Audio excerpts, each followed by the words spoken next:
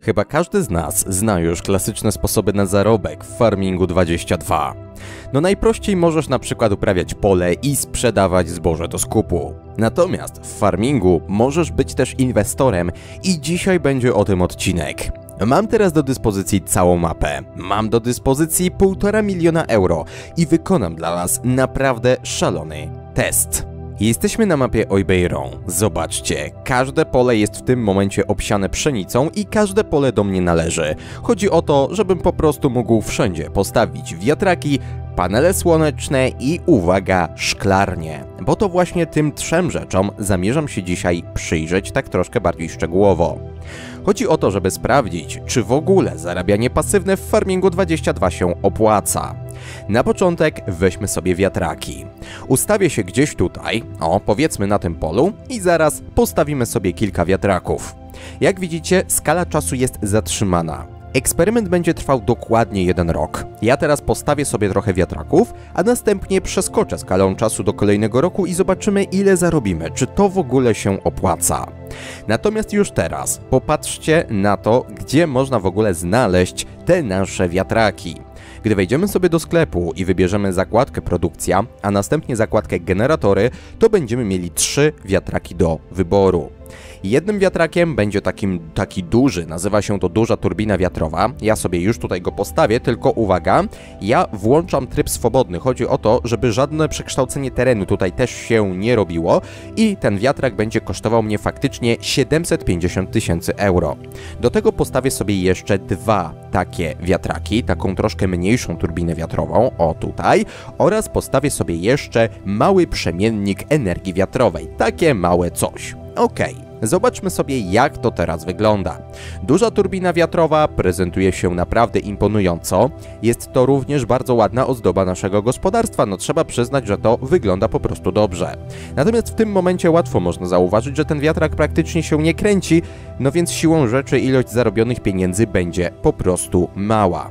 No i właśnie, od czego zależy hajs z wiatraków? Kiedyś dawno temu zrobiłem taki odcinek, więc przede wszystkim hajs z wiatraków zależy od pogody. No i oczywiście od poziomu trudności w grze, który mamy ustawiony, więc żebyście wiedzieli, ten test będzie wykonywany na poziomie łatwym. Natomiast zobaczmy sobie na pogodę. W tym momencie kierunek i prędkość wiatru, no niestety nie jest zbyt duża. Wieje z zachodu, wieje bardzo słabo, tutaj mamy prognozę pogody, natomiast jak zobaczymy sobie na kolejne miesiące, no to się okazuje, że już we wrześniu będzie wiało dużo mocniej, a także w miesiącach zimowych też powinno wiać znacznie mocniej niż w tym momencie. Także teraz wiatr wieje sobie delikatnie, pokazałem Wam jeden wiatrak, teraz możemy przejść do takiego drugiego, taka trochę bieda wersja. Swoją drogą taka ciekawostka, zobaczcie, ten wiatrak teoretycznie ma się odwracać do kierunku wiatru. Mówię teoretycznie, dlatego że ewidentnie przecież miało wiać z zachodu. No jeżeli miało wiać z zachodu, czekajcie, muszę to sprawdzić, no wieje z zachodu. E, no to zachód mapy jest gdzieś tam, ten wiatrak powinien się odwrócić w drugą stronę. No cóż, wygląda na to, że jednak odwrócił się nie do końca tak jak powinien. Ten wiatrak jest odwrócony już totalnie do kitu, no ale jest to wiatrak taki dwuśmigłowy, zdecydowanie mniejszy. Ciekawe, czy jestem w stanie wejść tutaj na tą drabinę. Wiecie co, sprawdźmy to sobie, czy w ogóle jest to wykonalne. No okazuje się, że niestety nie, nie można sobie tutaj tak wskoczyć, a tu w ogóle jest jeszcze lina, która mega fajnie wygląda. Ona normalnie wchodzi do ziemi, jeżeli będziecie mieli przekształcenie terenu włączone, natomiast tutaj jest jeszcze ta trzecia mała turbina, ona jest zupełnie innego kształtu, no i generalnie ona ma przynosić nam również pieniądze. Zobaczcie, gdy kupujemy sobie taką turbinę wiatrową, gdy kupujemy taki wiatrak, to tutaj z prawej strony jest napisane, jakiego mniej więcej przychodu w przeliczeniu na miesiąc możemy się spodziewać. Generalnie stopa zwrotu wynosi mniej więcej 9%. W przypadku tej najmniejszej turbiny wiatrowej jest to niecałe 9%, w przypadku tej największej już mamy wartość nieco przekraczającą 9%. Oznacza to, że jeżeli będzie wiało, to powinienem zarobić na tej dużej turbinie wiatrowej ponad 67 tysięcy euro w ciągu jednego miesiąca. Ja tutaj gram na ustawieniach takich, że jeden dzień równa się jeden miesiąc, więc e, to oznacza, że w ciągu jednego dnia jeden taki wiatrak powinien mi wygenerować w okolicach 67 tysięcy euro. Czy to będzie wykonalne? Moim zdaniem nie, ale zaraz się o tym przekonamy. Więc jeżeli już wiecie, jak wygląda ten eksperyment i jak on będzie przeprowadzany, to możemy przeskoczyć sobie do kolejnego roku i zobaczymy, jakie wyniki tutaj uda mi się uzyskać. I jeszcze jedna ważna kwestia. Teraz Wam dokładnie pokazuję, jak to wygląda od strony finansowej. Jedyny wydatek, jaki do tej pory miałem, był związany tylko i wyłącznie tutaj z postawieniem tych wiatraków. Wydałem na to 916 400 euro i jak widzicie, moje saldo w tym momencie wynosi 583 600 euro. Żeby łatwiej się nam liczyło, żebyśmy mogli policzyć nasze zyski, ustawiam sobie saldo konta w tym momencie na zero, zapisałem tam tą wartość, żeby mi potem nie umknęła, no i w takim razie teraz mogę już przeskoczyć do kolejnego roku. I jeszcze taka ciekawostka, w momencie kiedy uruchomiłem skalę czasu, bo przed chwilą była ona zatrzymana, ten wiatrak ustawił się zdecydowanie lepiej, więc tutaj moja uwaga dotycząca tego, że wiatrak był ustawiony krzywo, może już być nieaktualna. Ale nadal te dwa wiatraki ustawione są w przeciwną stronę, co wygląda troszeczkę dziwnie. No i teraz tylko zatrzymać zegar o 12, mam nadzieję, że mi się uda. Dobra, jest 11.59. Zaraz będzie 12, bo chodzi o to, żeby jeszcze po prostu za tą godzinę zarobić pieniądze. Dobra, mamy 320 545 euro. Ja w tym momencie tutaj e, zatrzymam sobie tą skalę czasu. Może jeszcze przewinę do 12.1, że jeżeli mielibyśmy dostać jakieś pieniądze, nie, nie ma już żadnych pieniędzy teraz, więc możemy się zatrzymać. Ja sobie teraz e, jeszcze zatrzymam skalę czasu za pomocą moza, moda Easy Development Controls. Okay. No i przejdziemy teraz do analizy wyników. Zobaczcie, cała nasza mapa tutaj w tym momencie zrobiła się mapą w pszenicy, natomiast ile mam na koncie? Mam w tej chwili 320 545 euro. Jak pewnie pamiętacie, na wiatraki wydałem dokładnie 916 400 euro a sprawozdanie finansowe wygląda następująco. Codziennie musiałem wydać około 88 euro na utrzymanie ziemi i tak naprawdę były to jedyne wydatki, które musiałem ponieść.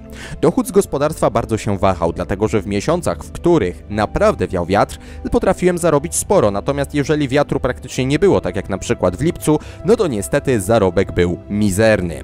Udało mi się zarobić około 320 tysięcy euro na czysto, no pominijmy sobie te koszty utrzymania ziemi, bo to i tak będziecie mieli. Oznacza to, że stopa zwrotu po jednym roku wyniosła prawie 35%. Czy to jest dużo, czy to jest mało? Osobiście uważam, że nie jest to jakaś porywająca wartość, biorąc pod uwagę fakt, jakie mieliśmy zapewnienia w sklepie. No, tam to zapewnienie wyglądało, że zarobimy nawet 9% w skali miesiąca, a tu się okazuje, że zarobiliśmy ledwie w okolicach 35% w skali roku.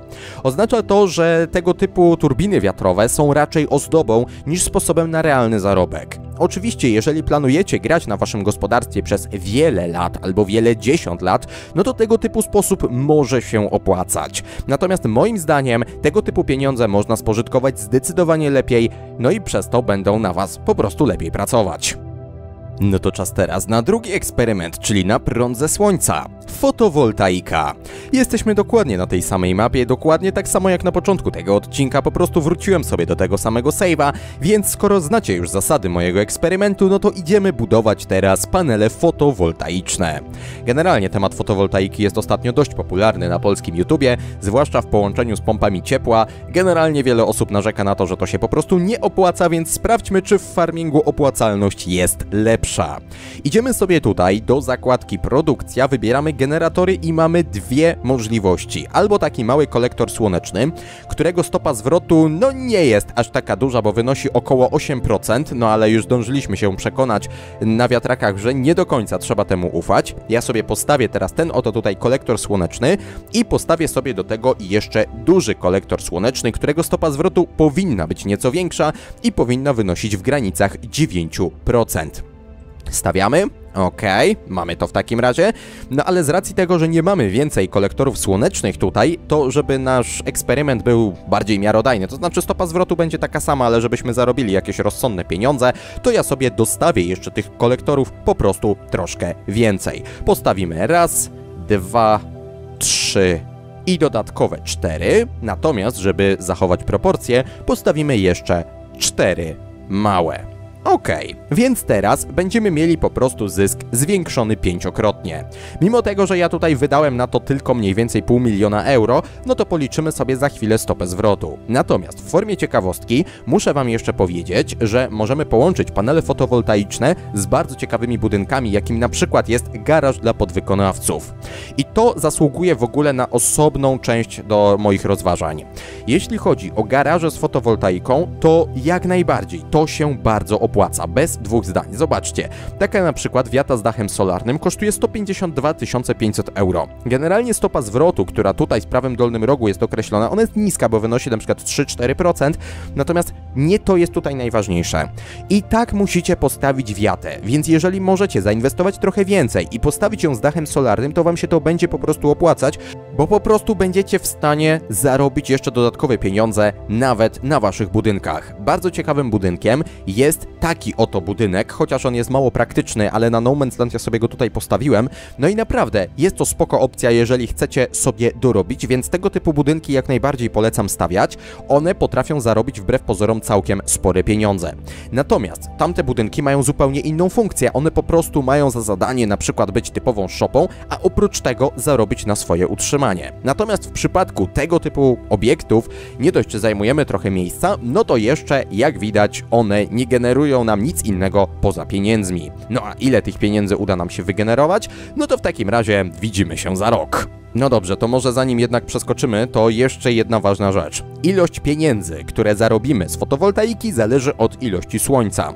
Normalnie będzie tak, że w miesiącach letnich zarobimy więcej, a w miesiącach zimowych zarobimy praktycznie nic. Więc w tym momencie mamy pogodę bardzo dobrą, ja zwiększam delikatnie skalę czasu, chcę, żeby po prostu te panele fotowoltaiczne ustawiły mi się do słońca, no chyba nawet są do słońca, bo widzę, że słońce świeci tam, więc moi drodzy, przeskakujemy sobie teraz o kilka miesięcy, bo będę chciał Wam jeszcze pokazać przy okazji różnicę w zarobkach pomiędzy miesiącami letnimi i zimowymi. Jeśli chodzi o sprawozdanie finansowe, to jest ono czyste, wydałem jedynie 506 500 euro. Dobra, jest grudzień, teraz środek nocy gdzieś tam w grudniu i chcę Wam właśnie pokazać, jak wygląda spadek zarobków na przestrzeni kolejnych miesięcy. Tutaj popełniłem mały błąd, bo po prostu nie wyzerowałem sobie stanu konta, ale nic złego, będę pamiętał tą wartość, zapisałem sobie ją 506 500 euro. Tyle wydałem, więc zaraz zobaczymy, ile zarobimy. Natomiast oczywiście utrzymanie ziemi będzie mnie kosztować, a dochód gospodarstwa jest tutaj. Jak możecie zauważyć, w sierpniu elektrownia słoneczna pracowała przez y, tylko pół dnia, natomiast we wrześniu, w październiku zarobiłem prawie 20 tysięcy euro, natomiast w listopadzie ten zarobek był znacznie, znacznie mniejszy. Mamy sierpień, znowu jest pod chmurą, dokładnie tak jak to było w trakcie pierwszego testu. No i w tym momencie zobaczcie, ile udało mi się zarobić. Oczywiście koszty utrzymania ziemi sobie pomijamy, natomiast ja w tym momencie na moim koncie mam 1 231 680 euro. Oznacza to, że zarobiłem dokładnie 238 180 euro, a to przekłada się na stopę zwrotu wynoszącą 47%. Czy to jest dużo, czy to jest jest mało, osobiście uważam, że to jest bardzo dobry wynik. Weźcie pod uwagę, że tutaj mam panele fotowoltaiczne, które nie zajmują jakoś bardzo dużo miejsca.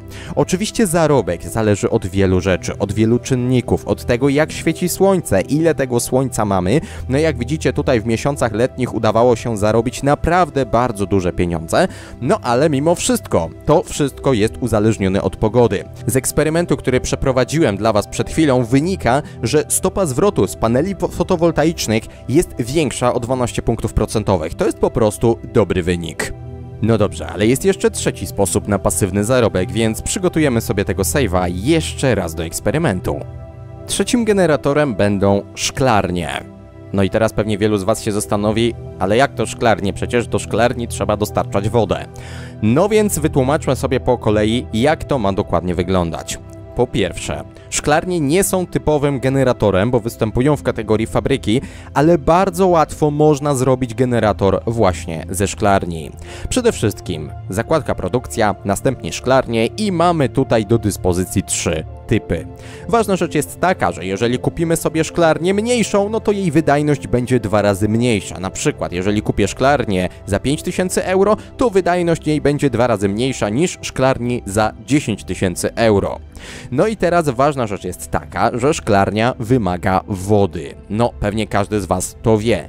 I tutaj możemy zastosować takiego bardzo ciekawego moda, jakim jest Automatic Watering System. Jest to mod, który pozwoli automatycznie nawadniać Waszą szklarnię, a w połączeniu z jeszcze jedną funkcją, którą za chwilę Wam pokażę, możemy zrobić właśnie generator w farmingu. To działa tylko na PC-ta. Natomiast jeżeli chcecie mieć coś takiego na konsoli, to zaraz też Wam pokażę pewien sposób, pewien trik, bo jest bardzo ciekawy modzik na konsolę, który można wykorzystać. No ale zacznijmy od początku. Szklarnie są tanie. Ja sobie teraz postawię tutaj kilka szklarni. O, powiedzmy, że postawię je sobie tutaj. Oczywiście wyłączę przekształcanie terenu. Raz, dwa, trzy, cztery, pięć, sześć, siedem, osiem, dziewięć i dziesięć. Prosta sprawa. Wydałem w tym momencie 100 tysięcy euro. 100 tysięcy euro wydałem na to, żeby postawić te 10 szklarni. Teraz ustawię sobie w nich produkcję, no bo to też jest bardzo ważne, więc chodźmy sobie tutaj. A, kolejna rzecz jest taka, że ja nie będę używał tutaj żadnego moda, który będzie zwiększał wydajność tych fabryk. Natomiast oczywiście włączam sobie tutaj ustawienie produkcji na wszystkie możliwe typy, więc włączam produkcję pomidory, włączam produkcję sałaty i truskawek.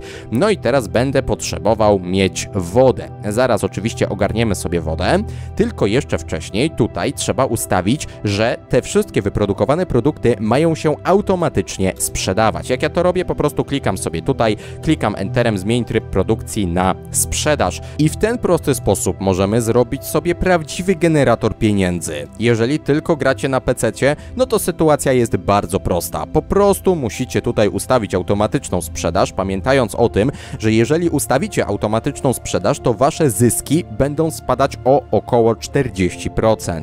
Dokładnie tego typu ustawienie jest również na konsoli. Każdy z was może ustawić sobie automatyczną sprzedaż. Ja teraz to właśnie zrobiłem. Wygląda na to, że w każdej szklarni. Teraz pozostaje nam tylko dostarczyć wodę. Można to zrobić na kilka sposobów. Oczywiście możecie jeździć sobie do rzeki, no i przywozić wodę do waszych szklarni. Jest to sposób taki powiedzmy najbardziej realistyczny.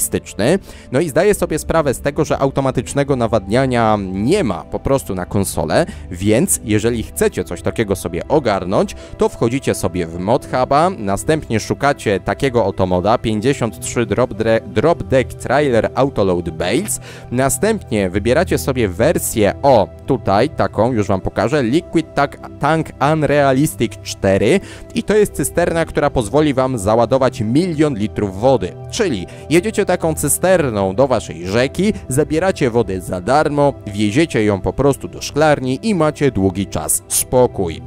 O, ewentualnie możecie postawić sobie zbiornik na wodę, taki oto budynek, tylko że wtedy wodę będziecie musieli kupować w dość absurdalnej cenie 100 euro za 1000 litrów. No więc to jest taka przewaga, bo można sobie skorzystać z moda na taką gigantyczną cysternę i dowozić wodę do szklarni. Nie jest to oczywiście automatyzacja w 100%, no ale weźcie pod uwagę, że zbiornik w szklarni ma 20 tysięcy litrów pojemności, a wy będziecie mogli dostarczyć naraz milion litrów, więc to i tak jest duże ułatwienie. Natomiast jeżeli na PC zastosujemy sobie moda automatyczne nawadnianie, czyli Automatic Watering System, to będziemy musieli tą wodę kupić dokładnie za takie same pieniądze jak w przypadku mojej tamtej studni, więc ja teraz sobie klikam tutaj i automatyczne nawadnianie i zobaczcie, 20 tysięcy litrów automatycznie się pojawiło, natomiast z mojego konta zniknęło Oj, widzę, że nawet jeszcze więcej, o 50%, bo widzę, że z mojego konta zniknęły 3000 euro, a nie 2, nawet jeszcze 3001, no to tego się nie spodziewałem, bo wygląda na to, że sposób Automatic Watering System jest jeszcze droższy niż, niż się spodziewałem. Dość mocno mnie to zaskoczyło, no ale dobra, nie będę wybrzydzał, aż sobie zobaczę tutaj teraz na sprawozdanie finansowe. No koszty produkcji tutaj bardzo urosły, bo jak widzicie napełnienie kosztuje mnie 3000 euro, czyli całkiem sporo. No ale dobra, nie będziemy wybrzydzać, bo ja wiem, że to się ma opłacić, a przynajmniej taki mam tutaj pomysł. Sprawdzimy sobie tego typu sposób, więc Wchodzimy i teraz klikamy automatyczne nawodnienie każdej mojej szklarni. Jest ich dokładnie 10. Ja nie używam tutaj moda na ulepszenie fabryki, nie ma czegoś takiego, czegoś takiego nie ma na konsolę, więc nie będę wam tego pokazywał. Więc teraz udało mi się włączyć wszystko, no i co mogę zrobić? No muszę przyspieszyć skalę czasu. W tym momencie wydałem jeszcze 30 tysięcy euro. No właśnie, wydałem 30 tysięcy euro, aby rozhulać produkcję. No więc, moi drodzy, koszty całkiem spore. Wydałem 130 tysięcy euro. Finansowe sprawozdanie wygląda w ten sposób. Jak widzicie, 100 tysięcy wydałem na budowę, a 30 na koszty produkcji, czyli na koszty wody. No to teraz usuwamy pieniądze z konta, żeby nie było już takiego liczenia jak to było ostatnio, więc ustawiamy saldo konta 0. No i co? Mogę sobie przyspieszyć w takim razie skalę czasu. Mam nadzieję, że wszystko będzie działać dokładnie tak jak sobie to zaplanowałem, więc przyspieszamy skalę czasu, no i widzimy się za rok. Znowu cała mapa pokryła się pszenicą, jest 12 godzina następnego roku, a na moim koncie znajduje się ponad 108 tysięcy euro. No czy eksperyment się powiódł? Uważam, że tak. No to zobaczmy sobie na nasze sprawozdanie finansowe, jak ono tutaj wygląda. W tym momencie wygląda to tak, że w zależności od miesiąca zarabiałem większą lub mniejszą ilość pieniędzy, no bo po prostu cena w skupie też się wahała. Koszty produkcji były naprawdę spore, dodatkowo koszty utrzymania ziemi w tym momencie też były bardzo duże. Czyli po prostu za każdą szklarnię muszę płacić odpowiednią ilość pieniędzy. No niestety tutaj koszty utrzymania ziemi to bardziej powinno być koszty utrzymania budynków, no ale to po prostu wpada w tą kategorię. No i jak widzicie, co miesiąc musiałem na tylko na wodę wydać ponad 2400 euro, tutaj troszkę mniej, 2300, koszty produkcji były troszkę mniejsze, o tu 2200, no to wygląda na to, że ten modzik troszeczkę raz więcej, raz mniej wody dostarczał, koszty utrzymania ziemi były mniej więcej stałe, natomiast za sprzedane produkty zarabiałem w okolicach 12 tysięcy euro. Finalnie pozwoliło mi to zarobić od 8 do 9 tysięcy euro na miesiąc. Po roku zarobiłem 108 390 euro, a to oznacza, że moja stopa zwrotu wynosi 83,3%, uwzględniając koszty poniesione na początku na dostarczenie wody za pomocą moda Automatic Watering System. Więc jeżeli szukacie bardzo fajnego generatora pieniędzy, to zdecydowanie bardziej opłaca się robić szklarnię. Ja oczywiście zarobiłem 108 tysięcy euro, ale weźcie pod uwagę, że ja na te szklarnie wydałem 130 tysięcy. Jeżeli tylko macie miejsce na gospodarstwie, to naprawdę polecam Wam stawiać szklarnię, dlatego że je, można to zautomatyzować na PC w 100%, na konsoli powiedzmy w 90%, no i generalnie możecie czerpać z tego ogromne pieniądze. Owszem, koszty produkcji są spore, natomiast nawet na innych poziomach trudności niż na łatwym, można będzie na tym sposobie zarobić całkiem dobre pieniądze. Zobaczcie jeszcze raz, stopa zwrotu ze szklarni przekroczyła 83%, z paneli fotowoltaicznych wynosiła około 47%, a w przypadku naszych wiatraków wyniosło to 35%. Także już pewnie doskonale wiecie, co robić, żeby zarobić, a się nie narobić. Jeśli odcinek Ci się podobał, zostaw koniecznie łapkę w górę i suba z dzwoneczkiem, jeśli kolejnych odcinków nie chcesz przegapić. A ja już się z Tobą żegnam. Do zobaczenia, cześć!